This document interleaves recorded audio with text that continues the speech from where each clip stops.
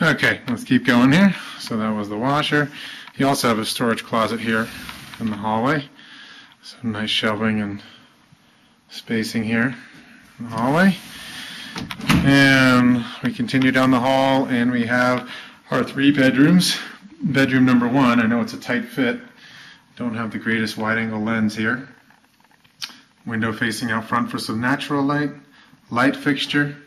You can see wood trim around the the uh, nice wood trim around the windows and the baseboards, all wood trim. It's got the dark forest green carpet, closet in the corner. And we'll continue back around.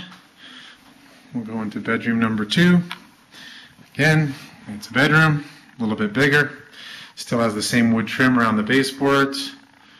Nice light fixture. Nice wood trim around the windows, again opening to the front. Those trees should come in real nice. Having some warm weather this week, so leaves should be blooming soon. And we have a full closet. Again, you can see the wood trim. Oh, not wood trim, but trim along the top of the closet there. Let's head back out. And we'll head into the master bedroom, which is kind of nice. Master bedroom is two-tone paint. It's got the nice uh, woodsy moose design, kind of like a wainscoting effect there going around. They left nice little ornament there for you, some window coverings. And in the master here, nice and big, you got the closets, nice double closet space. You can see the wood trim above the doors, including the wood trim on the bathroom door. Left you a nice picture there. And again, around the windows, they left, for whatever it's worth, those valances.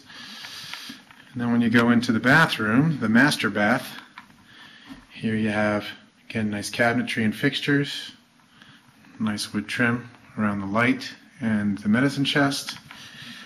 And then you have the laminate floors. And you have a fiberglass tub kit.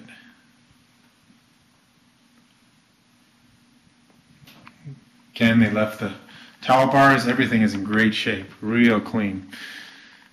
So one other thing I wanted to point out is they did leave the aluminum blinds in the bedrooms, but they also left the wood blinds here in the living room, which are relatively expensive. So uh, that's kind of nice that they left these here as well.